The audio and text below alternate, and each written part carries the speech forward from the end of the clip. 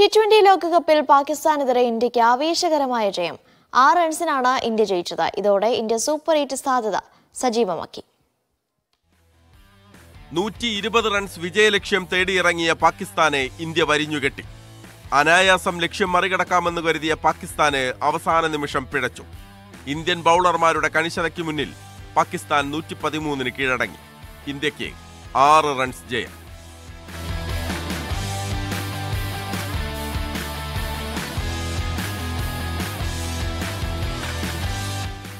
മറുപടി ബാറ്റിംഗിൽ പാകിസ്ഥാന് സ്കോർ ഇരുപത്തിയാറിലെത്തി നിൽക്കുമ്പോൾ ക്യാപ്റ്റൻ ബാബർ അസം പതിമൂന്ന് റൺസിന് പുറത്തായി.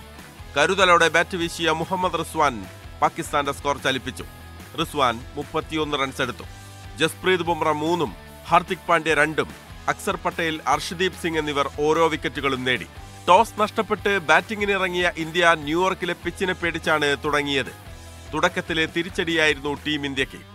നാല് റൺസ് എടുത്ത വിരാട് കോഹ്ലി ആദ്യം പുറത്ത്. പിന്നാലെ നായകൻ രോഹിത് ശർമ്മയും.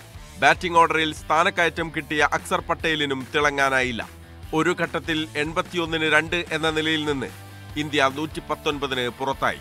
ഋഷഭ് പന്ത് രോഹിത് ശർമ്മ അക്സർ പട്ടേൽ എന്നിവർ മാത്രമാണ് ഇന്ത്യൻ നിരയിൽ രണ്ടക്കം കടന്നത്. ഋഷഭ് പന്ത് നാൽപ്പത്തിരണ്ട് റൺസ് എടുത്തു. പാകിസ്ഥാന് വേണ്ടി നസീം ഷാ ഹാരിസ് റൌഫ് എന്നിവർ മൂന്ന് വിക്കറ്റ് വീതം വീഴ്ത്തി. മഴ മൂലം വൈകിയാണ് മത്സരം ആരംഭിച്ചത്. ജയത്തോടെ ഇന്ത്യ സൂപ്പർ എയ്റ്റ് സാധ്യത സജീവമാക്കിയപ്പോൾ പാകിസ്ഥാന്റെ നില പരുങ്ങലിലായി. World cup desk media one.